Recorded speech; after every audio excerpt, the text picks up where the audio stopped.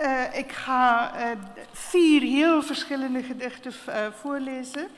De eerste gaat over een vogeltje. En het is een, een, soort klank, een soort klankgedicht, dus niemand begrijpt het, ik ook niet.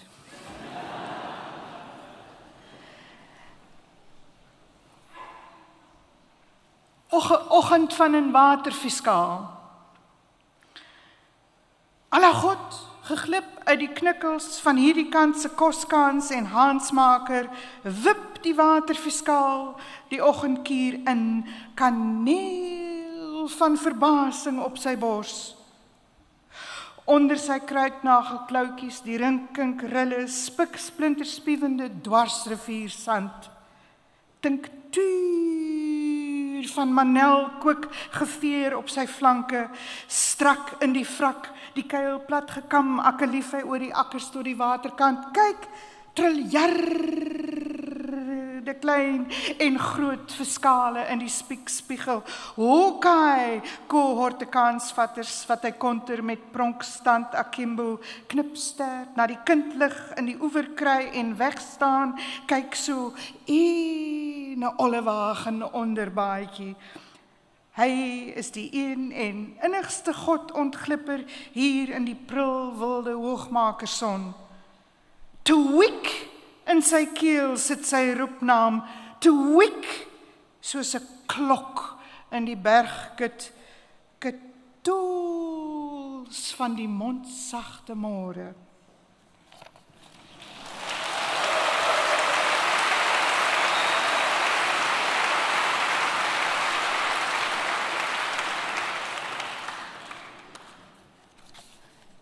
Er zijn niet alleen vogeltjes in Zuid-Afrika.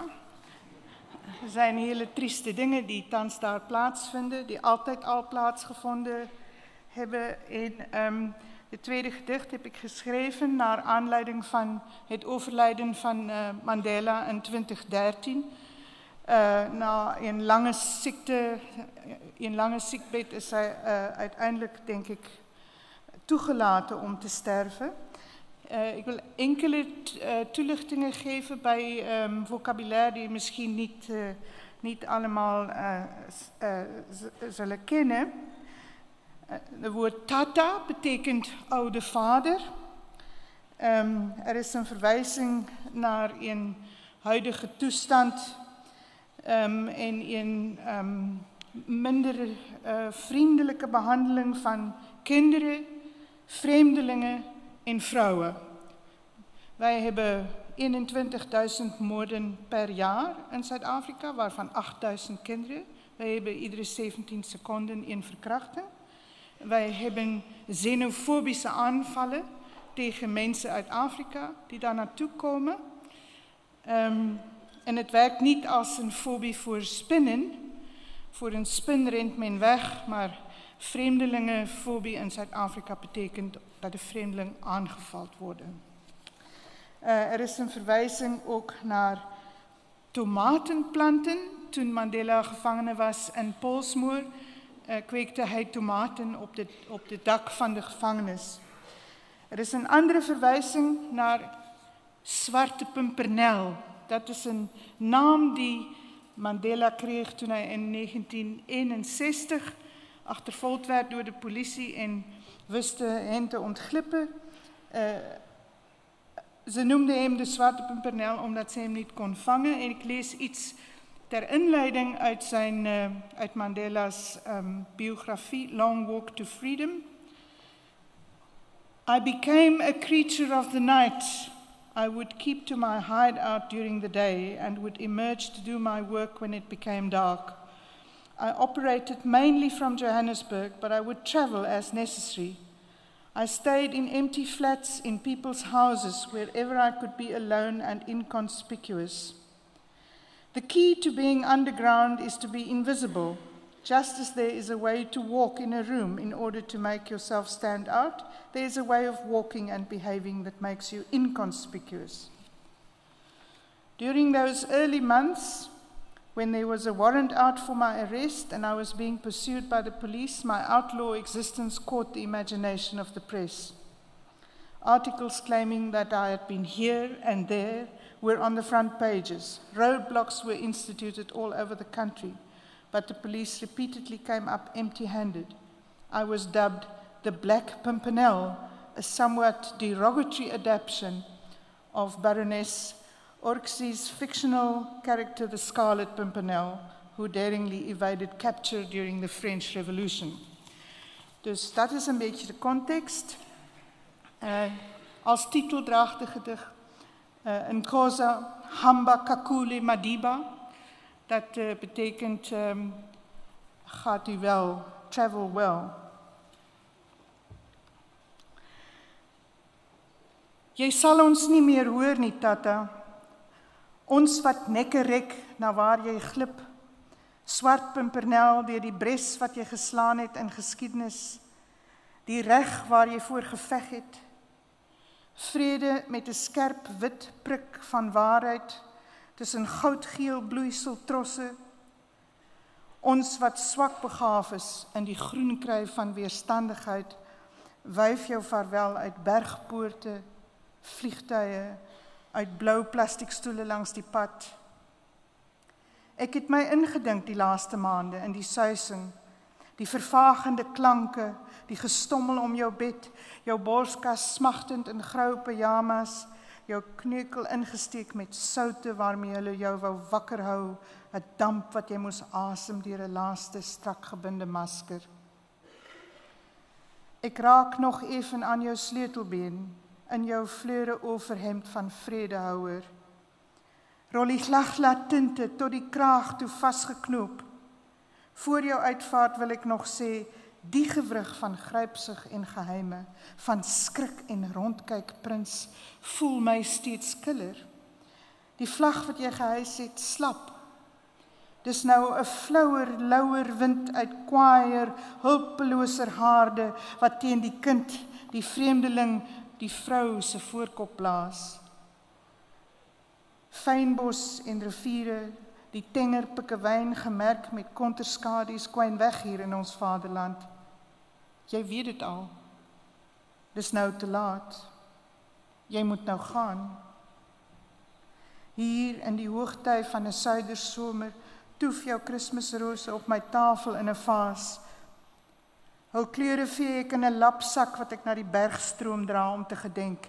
Jou sonsopkomse glimlag, jou skuifeldans, jou tronkdak se tomatieplante, jou woorde in die hof van Europees vergeefsheid sakdoek aan die brou teen die verbode wat jy nooit wou glo.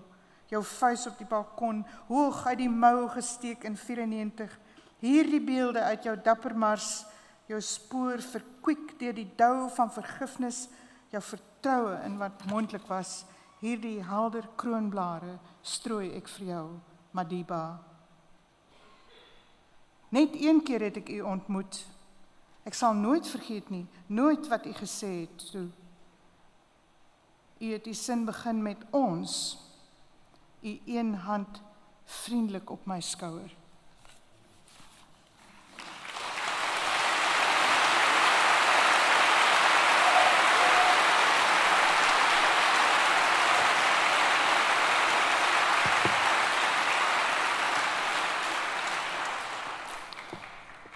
Het volgende speelt af speelt zich af in uh, in Amsterdam.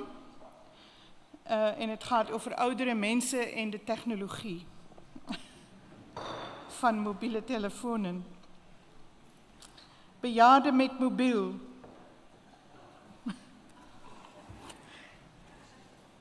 In die blaasgat van die stadskasarm waar blieps en tinkels gloor, klim uit die lipgleuf van haar handsak haar eie lui toon in haar oor. Jesus vreug van my verlange deur haar klein neef ingestel ter wille van haar hart wat stok van elke ander soort alarm.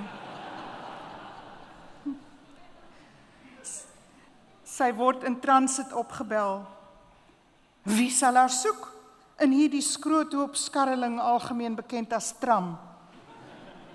In die blik van medereisigers sien sy gedeelde menslikheid in elke kenwysie gepalm die ruising van die see met skaal van Jan van Gent, die stoomfluit van 'n ketel, die lied van 'n vagrant waarop 'n ieder vol devosie sig ver of naby siende tot sy sleutelbord moet wend. Sy vroetel in die duister na haar finse handaltaar en vat sy glim en trilling raak vir 'n antwoordoperasie. Haar duim tas na ontvangs en druk daarop ternouernood haar oog soek na 'n kontaknaam nommer onbekend. Die robotiese verlengstuk wys inkomende berig 'n minuskule kaart van haar lokasie plus bel te goed op sy gesig 'n goeiedag mevrou Tenkaat. Het u 'n oomblik tyd? Beleefdheid hier die retoriek. Ja hoe kan ek u van diens wees? Is daar iewers fout of is ek gans onnodig bang begin sy maar word doodgepraat. Dit is tyd vir opgradering van u mobiele apparaat. Ons het vir u die nuutste op die mark, belyn op elke handicap of ongeluk van nou af tot die einde. In geval van hartstilstand, gewapend roof of dergelike ellende, verstaan u foon van selfafwesigheid. Te onderskei van oponthou. Beskikbaar teen die kleinste bybetaling. Stel u belang? Wag, sê sy. Ek is half doof. En lang verby my afklimstasie. Sal u herhaal asseblief? En, en sonder sang of bygeruis? Sy vat die blink stronk in die ander vuis, neig haar hoof en draai bedees die ander wang.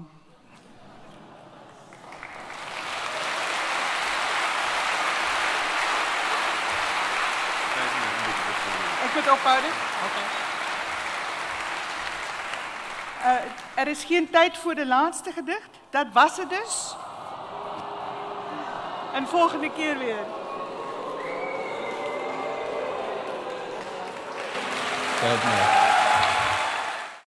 VPRO Poëzie draait helemaal om Nederlandse en internationale poëzie. Je vindt niet alleen interviews en portretten van dichters, maar iedere week lichten we ook een ander gedicht uit. Maak kennis met dichters en de mooiste poëzie en vergeet je niet te abonneren om geen enkele video te missen.